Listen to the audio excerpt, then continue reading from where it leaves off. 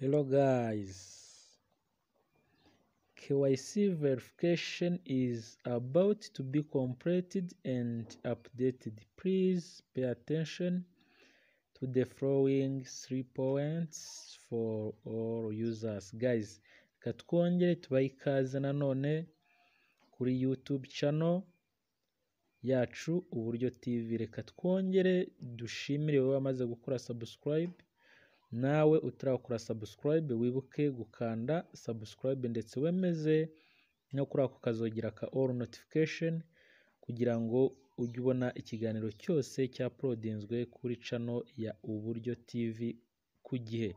Guys, tudatinze uyu munsi tugarutse muri Battle Steed. Aha ngaha batangiye bakubwira bitatu by'ingenzi ugomba kumenya, ugomba gushyiraho attention mu buryo bwa KYC muri Battle Steed. Icya mbere, mbere y'uko uvanamo application ishaje, banza making sure ko wabitse za mfunguzo zawe, urebe niba warazibitse neza kuko uraza kuzifashisha uri kuristoringa application nshya cyangwa se new version ya Battle Steed. Kabiri, nuramuka ukoze uninstall ya application ishaje utarabitse ziriya mfunguzo, birumvikana ko account yawe utari buze kongera kuyibonayo muri Battle Steed. Guys, ibi bintu ugomba kubyitondera, ibi bintu ugomba kubyitaho wowe wamaze guclaiminga ziriya katresa dolari muri Battle Steed. Gatatu,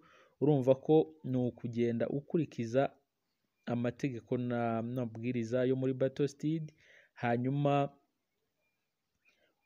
cyane wita kuri za mfunguzo zawe.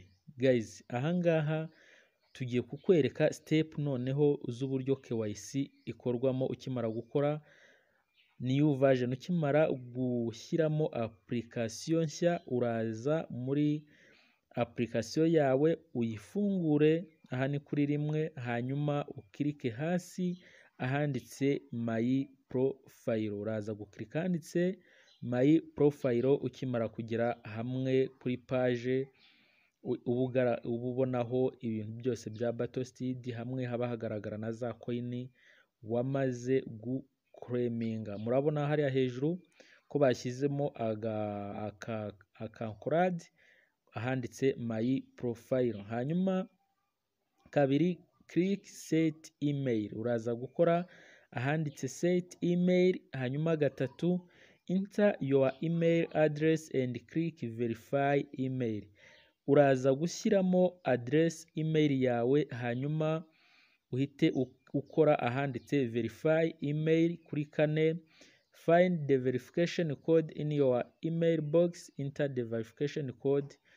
Aha kuri kane uraza kujya muri inbox yawe ya Gmail urebemo code baguhaye, hanyuma ya code uraza kuyikopiya uyigarukane hano muri application uyipestinge, nusoza gatanu urahita ukora confirm. Please note that all users must download and update the AppKey application from the official website. Aha ngaha barimo barakwibutsa ko buri muyuza wese, buri mufatanyabikorwa wese muri Battle Steed agomba kudownloadinga akanakora update akoresheje application ya official ya Battle Steed. Ngira ngo murabibona hano hirya KYC certification comprehensive update is official launched.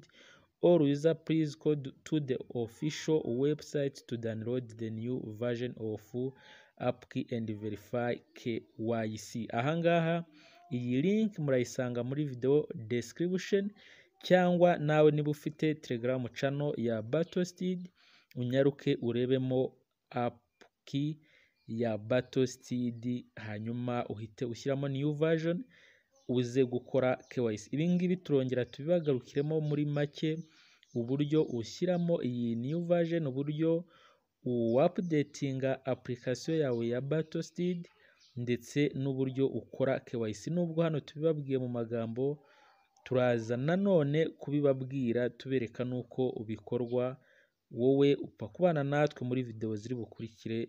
Ciao.